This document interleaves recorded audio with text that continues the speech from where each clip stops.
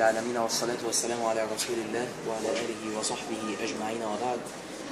دلوقتي شغالين على باب ال differentiation وال integration هشتغل تفصيل على طول. معانا هنا ال source بتاعنا هوصله على التوالي مع مقاومة ومع ملف. يبقى هاخد اهو طرف من السورس هوصله في ال common بتاع المقاومة.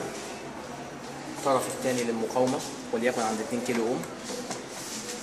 هوصله بطرف الملف. وبعدين الطرف الثاني للملف هرجعه للسورس بعدين عندنا الطرف بتاع الاسلسكوب دوت طبعا منه طرفين. هوصلهم هنا كده قصاد الملف بالظبط.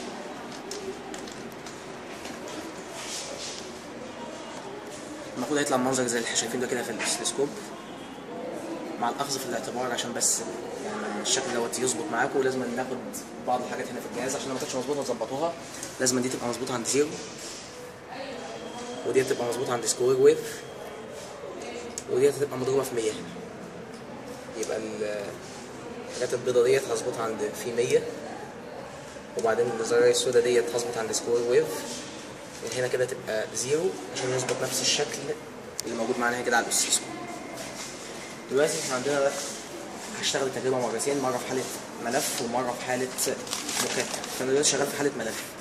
فالقانون بيقول إن واحد على T half بيساوي واحد على L ln اتنين كل ده مضروب في R فلو أنا انت عملت علاقة بين واحد على T half وبين ال R هحصل على علاقه خط مستقيم ال slope بتاعه بيساوي واحد على L ln اتنين.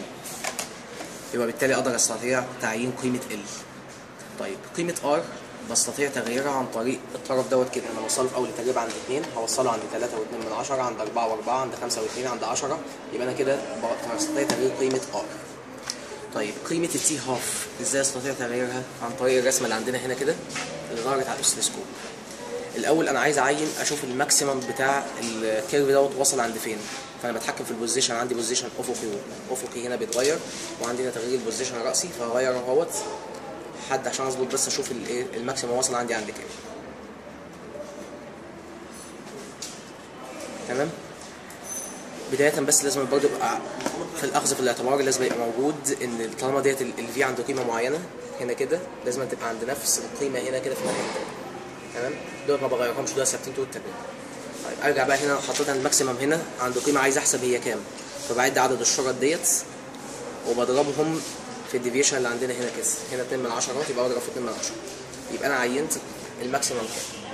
وليكن ليكن إن ال maximum ده طلع 10 يبقى نص ال 10 5 فهنزل أهوت من التغيير ال position الرأسي هنزل لحد ما يبقى ال maximum عند 5 بدل 10 يبقى أنا نزلت لحد النص.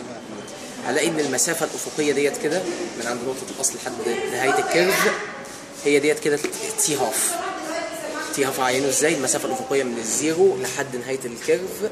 وطبعا بضرب عدد الشرط في ال division اللي عندنا هنا. يبقى أنا كده عملت علاقة ما بين R وما بين ال T half. هغير قيمة R تتغير مع قيمة ال T half. هغير قيمة R تتغير قيمة ال T half. يبقى أنا كده أستطيع تعيين قيمة ال L عن طريق ال slope اللي بيساوي 1 على L ln 2 طيب في حالة المكثف. في حالة المكثف كل اللي هعمله إن أنا هشيل الطرفين بتوع ال coil أوصلهم على ال capacitor والطرفين بتوع ال oscilloscope كانوا واصلين هنا مع ال coil. أوصلهم هنا كده مع ال capacitor ونفس الكلام اللي كنت بعمله مع ال coil هعمله مع الملف مع مع المكثف. هبدأ بس أظبط ال maximum هنا كده.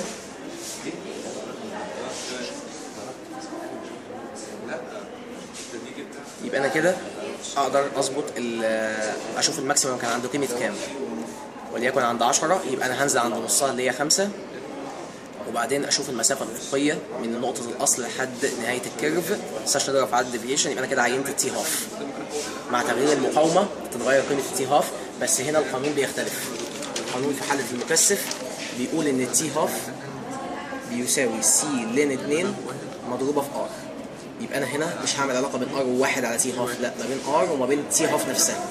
وهيطلع ال slope هناك كان واحد على L ln 2 هنا يطلع ال C ln 2 يبقى أنا كده قدرت اعين قيمة C وبكده انتهت تجربتنا وصلى الله وسلم وبارك على نبينا محمد.